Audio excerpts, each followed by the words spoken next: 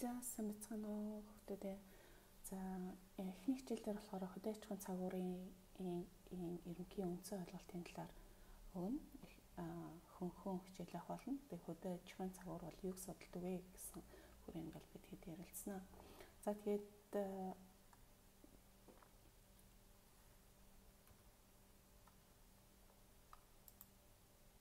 эхний ээлжинд болохоор бид хэд юу үзгүй гэхээр за энэ энэ хэсэг дээр болохоор гурван хэсэг бол ерөнхийдөө та гэдэг өгнө. Нэг нь болохоор шинжилгээ ухааны тодорхойлтын талаас за тухайн энэ хөдөө аж ахуйн цагуурын судалгааных нь арга судлагдах нь бас ямар байдгийг за тэгээ хөгжлийнхэн түүхийн талаар ярина. За За тэгээд энэчнээс болохоор хөдөө аж ахуйн цагуурын нэр томьёо тийм мэдлийн талаар ярих юм бол хөдөө аж ахуйн цагуур гэдэг нь болохоор агрометеорологи гэсэн үг байж байгаа. Англиар бол за энэ болохоор agricultural meteorology гэдэг үгийн нийлэмж юм байгаа. Тэгэхээр agricultural гэдэг нь болохоор хөдөө аж ахуйн тий газар тариалан хөдөө аж ахуйн гэсэн үг. За тэгээд хөдөө аж ахуйн метеорологи бол та бол мэдж байгаа цагуур тийм ээ. Энэ хоёрын нийлэмж нь болохоор агрометеорологи гэсэн маягаар нь товчсон маягаар бол явж ирж байгаа. За тэгээд бидний ерөнхийдөө бол хөдөө аж ахуйн цагуур дотор энэ юу юу cover оруулдаг вэ гэхээр агар цагуур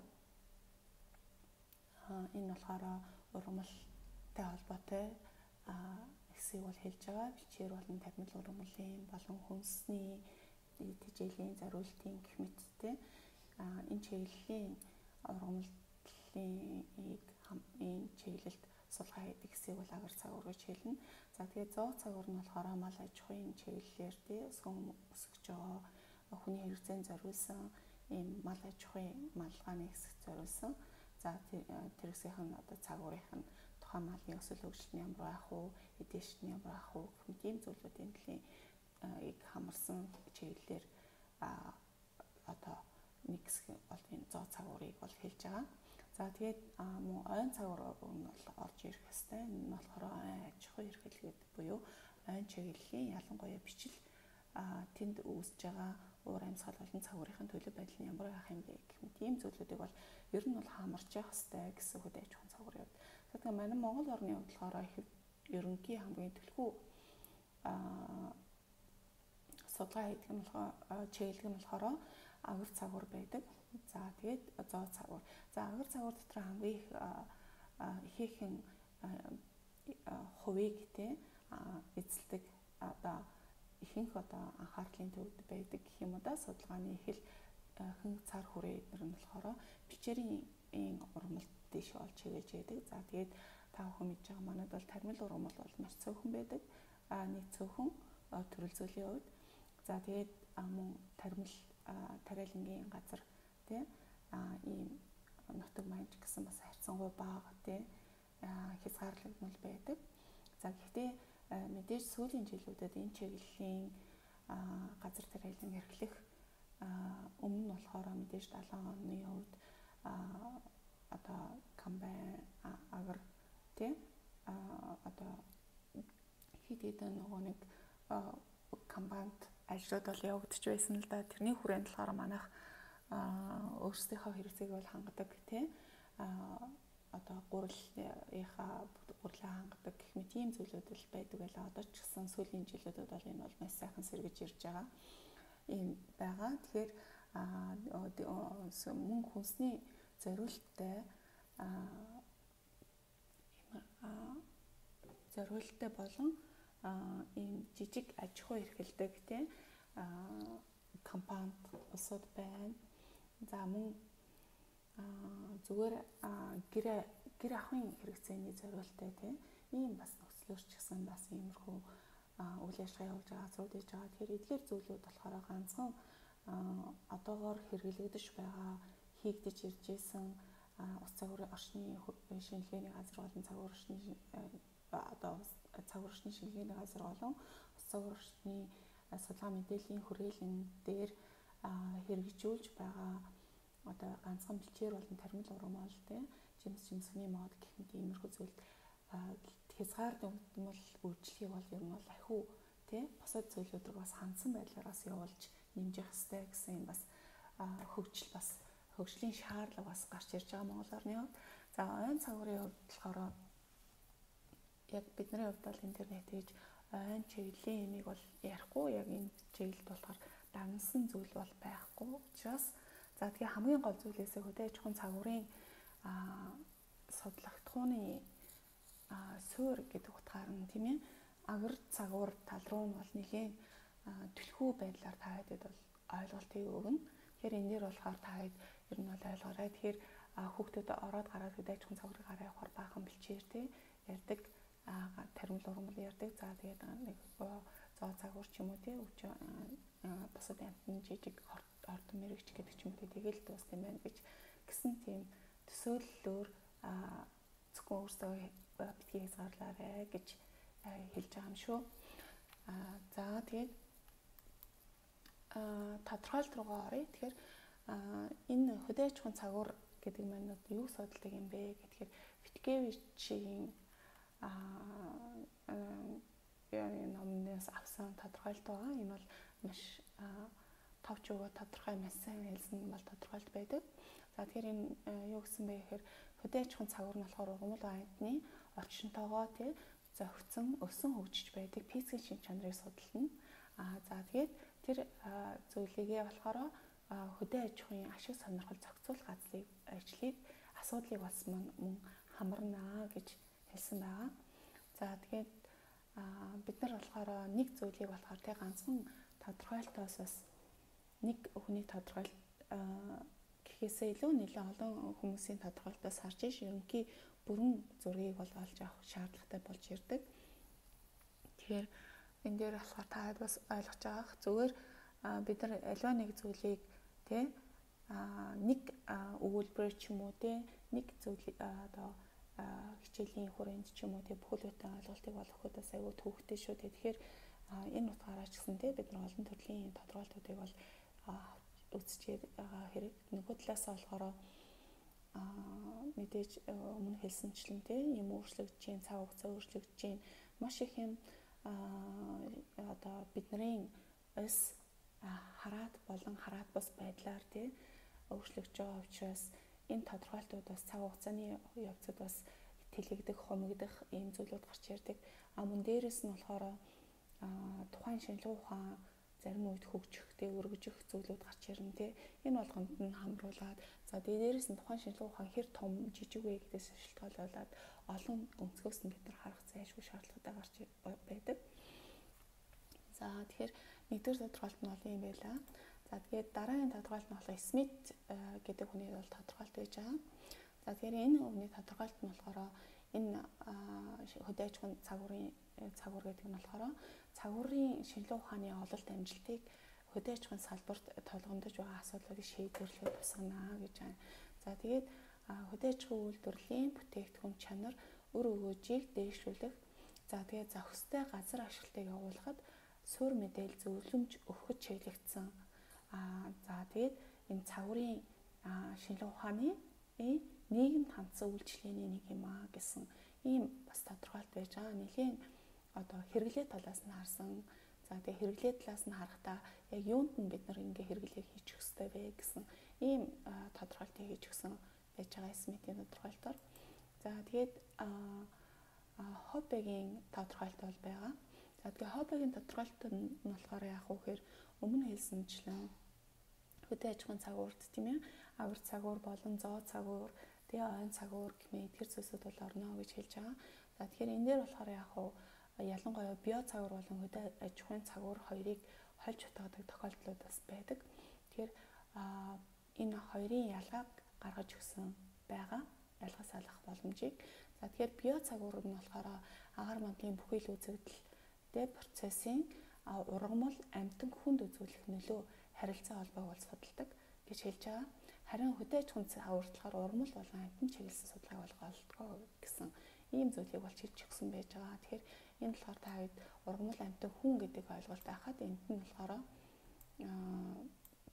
тийм зөвхөн ургамал амтанд тийм ээ чиглэсэн ийм төрлийн судалгааг бол хэлнэ гэсэн ийм байдлаар ерөнхийдөө хөдөө аж ахуйн цагур болон био цагур хоёр ялгаатай байдгийг шүү гэдгийг бол хэлж өгч байгаа. За тэгэхээр био цагур нь болохоор үйлчлэгийг хамардгүй мэдээж хүн тэ бүхэл амьд организмд хандсан тэдгэрийн цагаартай хэрхэн яаж харилцаа холбоотой байна.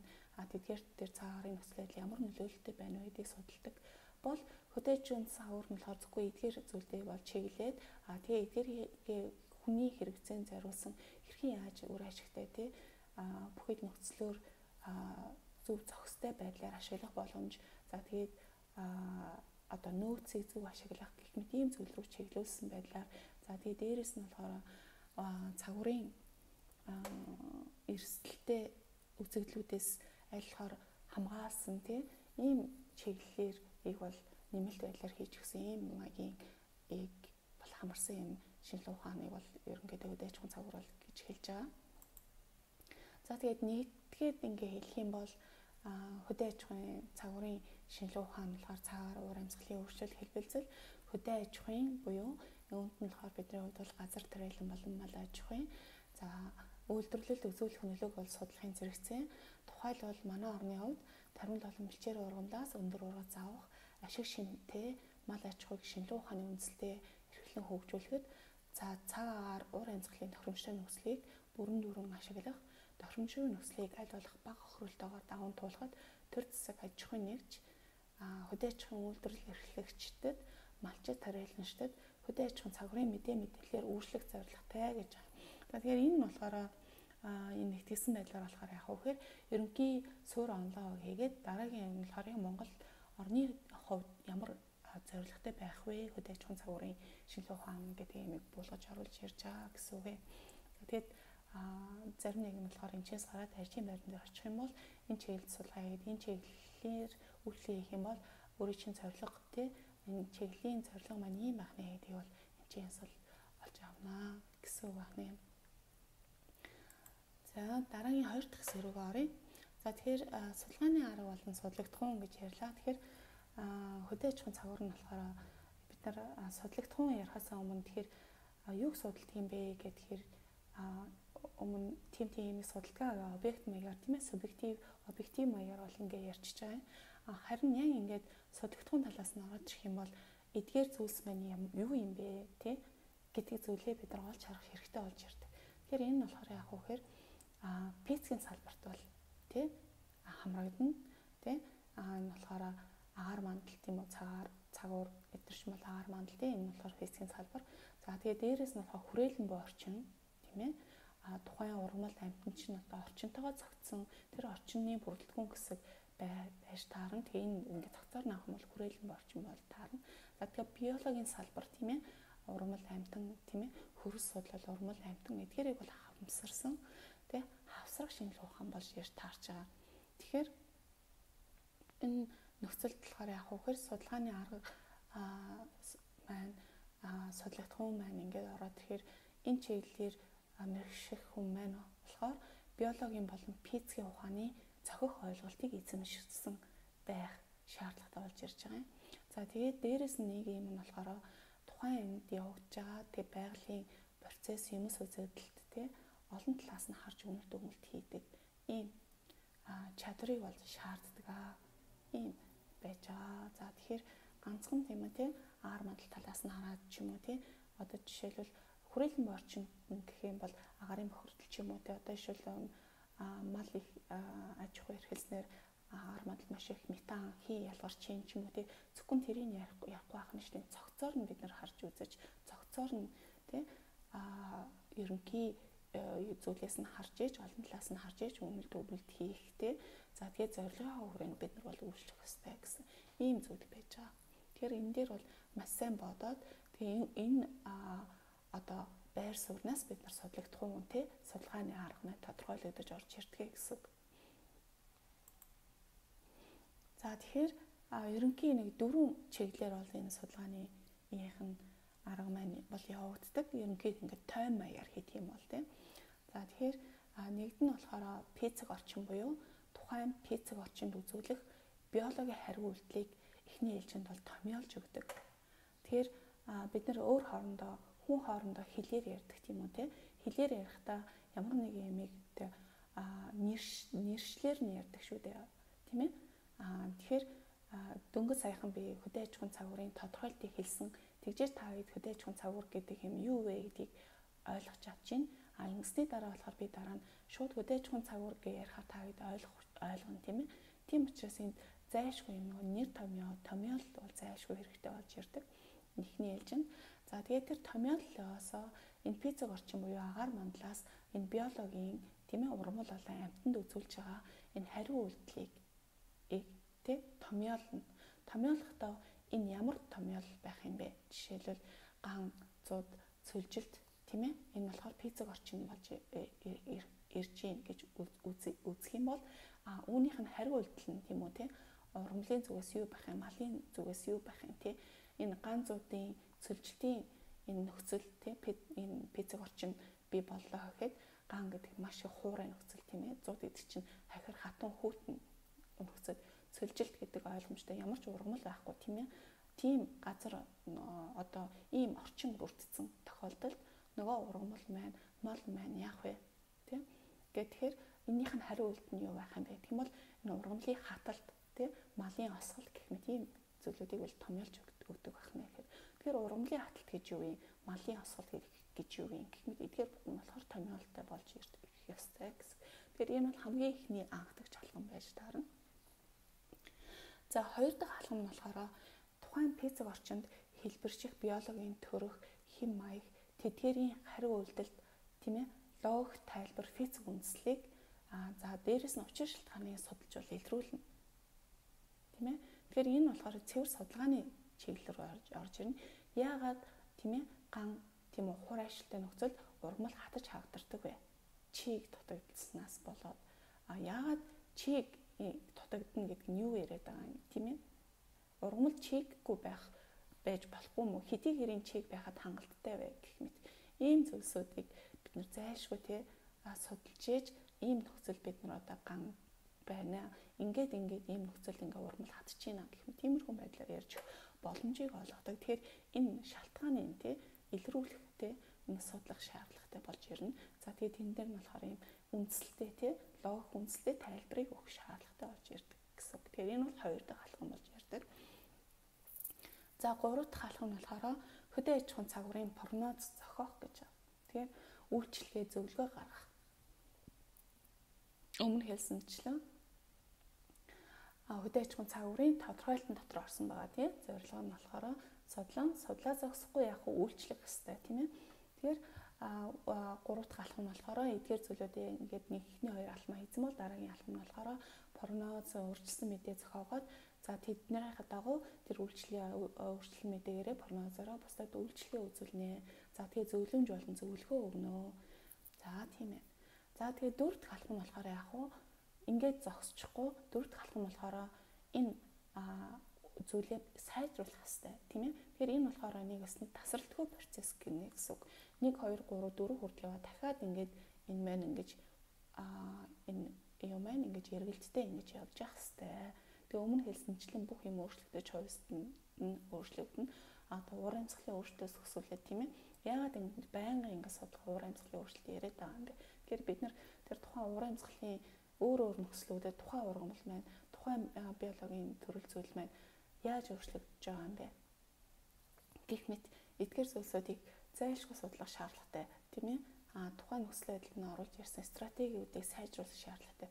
Үйлчлэгийг ч гэсэн бид нар байнга сайжруулж явах хэрэгтэй тийм ээ. Бид нар хизээч төгс юмыг хүмүүст өгч чадахгүй байгаа штэ тийм тэгэхээр аль болохоор одоо таад гадаа гараатаар бид нар байнга л одоо бүх юм маань ингээд нэг юм нөгөө анзаарахгүй ч юм уу тийм ингээд байх хэвээр юм шиг бодсон юмуд аюух байдаг байхгүй тий Тэгэл жилийн жилд одоо жилийн жилийн хаврттай байн хавсар тий хаврын хавсар байж ах хэвээр юм шиг тийм ээ. Тийм бас байхгүй байж болно. Бид нар сайхан тий тэр шорон шуурны гагалтыг багасгаа ч юм уу хаврын хавсаргыг ийм нөлөөллийг бууруулад ч юм уу тий сайхан цаагаар бас байж болно шүү дээ тийм ээ. Гэх жишээний тэгэхээр нөгөө талаас болохоор энэ үйлчлэгээ тэ стратеги бид нар сайжруулах хэрэгтэй. Тэгэхээр энэ зүйлрийг бол бид байнга ингэж чиглэлжтэй аль болохоор төгс юм руу аль болохоор сайжруулах тал руугаа явж явах хэрэгтэй гэсэн. За нөгөө нэг юм нь болохоор энэ decision making system гэдэг юм маш их дэлхүү байдаг. Энэ дээр болохоор манайх ерөөсөө гаргаж ирч чадахгүй байгаа хинч ер нь хийгээгүй. Ерөөсөө л энийг бол хийж байгаа улсууд нэг мэдээ гаргаж байгаа улсууд байгаа болохоос биш яг одоо энэ газар тариалан эрхлэгчдэд энэ малаж хуй эрхлэгчид өөрсдийнх нь гарын дор хэрэгжилж байгаа аппликейшн ч юм уу тий гарын дор хэрэгжилж байгаа юм юм систем ерөөсөө байхгүй. Тэгэхэд гадны улсууд бол тийм юмтай явж байгаа тийм байгаа. Тэгэхээр тэрийг бас хэрэглэх боломжийг олгож өгөх бас шаардлагатай. Дээрээс нь за тэр хүртэл байлаа гэхэд ядаж шийдвэр гаргагчдад нөлөөлөх хэмжээний тийм ийм зүйл одоо тогтолцоо руу бас шилжих шаардлагатай. Ийм зүйлүүд бол байдаг. За тэгээ энийг бол ингээд дахин дахин сайжруулж явах хэрэгтэй гэсэн юм байдалтай. За гурав дахь хэсгэрүүгээ шилжиж. За тэгээ энэ дэр нь болохоор хөгжлийн түүхийн талаар тийм ярив. За тэгэхээр энэ газар тариалангийн үйлдвэрлэлд болохоор цаагарын нөлөөллийг ашиглаж эхэлсэн хугацаа гэж ойрцоо ороо ер нь бол 2000 жилийн түүхтэй гэж яригдж байгаа. 91-ний энэ зууны хэр гэсэн. А 20 дугаар зуун 2000 хөдөө аж ахуйн цагварын хувьд бол твшилттэй хамгийн твшилттэй хөгжлийн твшилттэй үед бол тооцогдоо гэж а хүмүүний номноос бол ерөнхийдөө тэгж хэлсэн байж байгаа. За за тэгээд э, мэдээж тийм ээ дэлхийн нийтийн хөгжлийн чиг хандлагыг э, маш ихээр юм хөгжиж байна тийм ээ технологи хөгжиж байна инновац гэл ярьж байна интернет одоо энэ юу лээ цахим ертөнц тийм маш их зүйлүүд өөрчлөгдөж байгаа. Тэгэхээр үүнийг дагаад судалгаа шинжилгээний арга цар хүрээ бол тэг байнга өргөцсөөр ирсэн тухайн цаг үеийнхаа ололт амжилтыг дандаа ингэж тэг өөрийнхөө судалгааныхаа арга аргачлалд аа тэг хэрэгцээ гэх мэт иймэрхүү юмд бол нэмэгдсээр ингээд сайжруулсаар л явж ирсэн. За тэгэхээр энэ одоо нөхцлөөрөө тий энэ судалгааны арга аргачлал техник технологи тийм ээ улам цар хүрээ нь бол өргөцсөөр ирсэн. Ээ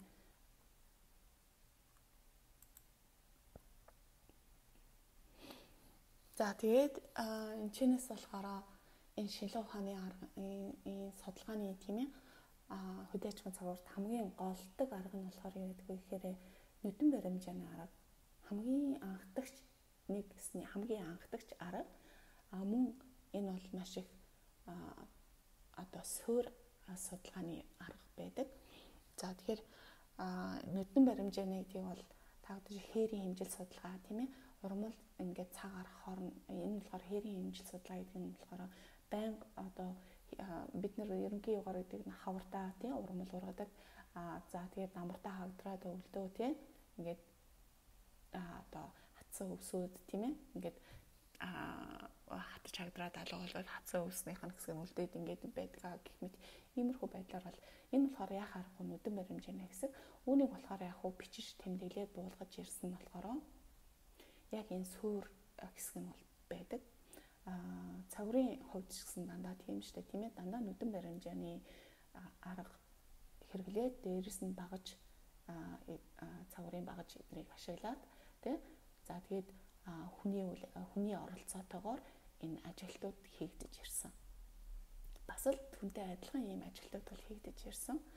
За за тэгээ энэнийхэн зорилго нь болохоор юу байсан бэ гэхээр энэ ургамал тий мал тий бусад одоо энэ биологийн зүйлс эдгээр эдгээр нь энэ цаа агаарынхан буюу уур амьсгалын нөхцөлтэй ямар харилцаа холбоотой байд юм бэ гэдгийг олж илрүүлэхэд чиглэсэн байсан.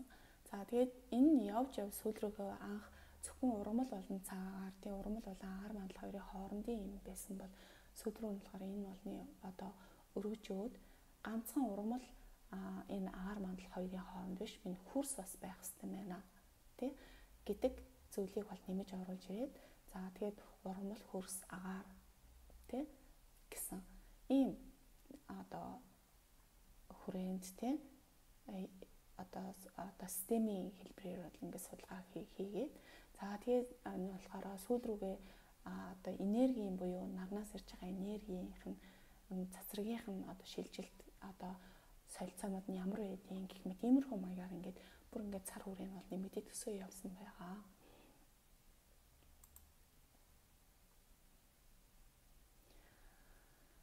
За тэгээ дараагийн алхам нь болохоор яг уу гэхээр тухайн нэг орчинд болохоор бид нар нэг л төрлийн хөвчлэн тий зуны улирал ч юм уу хөвчлэн хурд тунц ажиглагдана тийм ээ гэх мэт иймэрхүү нэг юм давмгай чанарууд байдаг.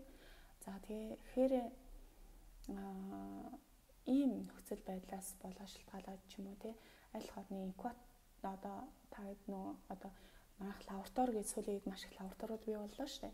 Тэгэхээр энэ нь болохоор яг хөөхөр нэг юм зохиомл орчингууд бол үүсгээд байгаа гэсэн үг. Тэгэхээр тэр зохиомл орчинд тухайн ургамлын ургалт нь ямар байх вэ гэдэг зүйлүүдийг тий бүр ингээд бүхэл бүтэн юм шилэн хаус ч юм уу тий хөлмж эднэр дотор тий хөлмж ч юм болохоор ингээд харьцангуй дулаан орчин үүсгэж байгаа шүү дээ тийм ээ.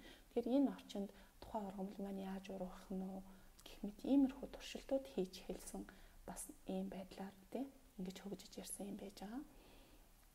За тэгээ дараагийн хад нь болохоор яг үхээр загварчлал математик загварчлалуудыг ашигласан. За хиймэл дагуулын мэдээг мэдээг бас түлхүү ашигладаг болсон гэх мэт тий. За тийм мэдээж нөгөө олон жилийн нөгөө нэг бүрдэл цугаан дээрээ статистик тайллуудыг хийгээд нөөц нь ямар байгаа юм гэх мэт иймэрхүү судалгаануудыг хийгээд За тэгээд сүүлийн жилүүдэд уран зохиолын өөрчлөлтийн судалгаанууд гэх мэт иймэрхүү аяар хөгжлийн түүх бол ингэж явж байна. За тэгээд энэ хүртэл болохоор аа багшийнхны ярих юм ингээд дуусж байна. За тэгээд энэ үлдсэн хэсгүүдийн болохоор та энд аа сайтад уу сайтад оруулсан хэсгийг уншаад танилцаарай. Аа текст хэсэг байж байгаа. За тэгээд өөрсдөө болохоор та хэд нөгөө нэг гэрийн даалгавраа өөрсдөө ойлгуулсан зүйлээ энд дор гэрийн даалгаврын хэсэг дээр болохоор комментээр үлдэх хэвээр гэрийн даалгаврын чинь оноо бол тавигдана. За өөр тэгээд асууж хариулах юм тий янз бүрийн байвах юм бол бас чөлөөтэй бичээд тий холбогдоорой. За тэгээ айлхаар юм уу юу сайтн дээрээ иймэрхүү зүйлүүдэд бичээд өрөөд явах хэрэгтэй. Тэгэх юм бол тэнцээс нэг дороос хэдүүлээ хоорондоо ярилцаад явна. За мөн дээрээс нь тавид аа нэг юм групп үүсгээрээ тийм ээ групп үүсгээд тэгээд яваарай. За тэгээд өөрсдийнхөө үүсгэсэн профайлаа бас хөгжүүлээрэй зураг хөргөө тавиад тийм ээ. Аа за тэгээд аа алихаар өөрийгөө тий аа комент штэ нэрсээ хэлээд танилцуулаад тэр нэг юм байна ийм ядаг гэдэг ч юм уу тэгж жагаад аа энэ гэрийн даалгаврынхаа комментийн хэсэг дээр өөрийнхөө энэчээс голж авсан гол гол зүйлүүдээ бичиж тэмдэглэж үлдээгээрэй. За тэгээд та хэдийн би даалтын хэсэг бол байж байгаа. Энэ хөгжлийн түүхийн хэсгийг илүү дэлгэрэнгүй оруулсан байгаа. Тэрийг уншиж тэмдэглэл авна. За нэг өөр нэг юм болохоор бас ерөнхий нэг за за тэгээ энэ хүртэл бол ингээд болно. Тэгээд эхний хичээл бол ингээд өөр бол дуусъя. Тэгээд дараагийн хичээлээс хэвлээ. Жохон арай жохон ятай байна. Тэгээд ерөнхийдөө хөдөөчхөн цагуур гэдэг бол айгу гоё хичээл байгаа. Тэгээд та энэ хичээлийг үтсэндээ э, их баяртай байх болно гэж бодож байна. Тийм тэгээд бичсэн заасан зааж байгаад их баяртай. За тэгээд бүгдд нь амжилт хүсье. Баяртай. За тэгээд баярлалаа.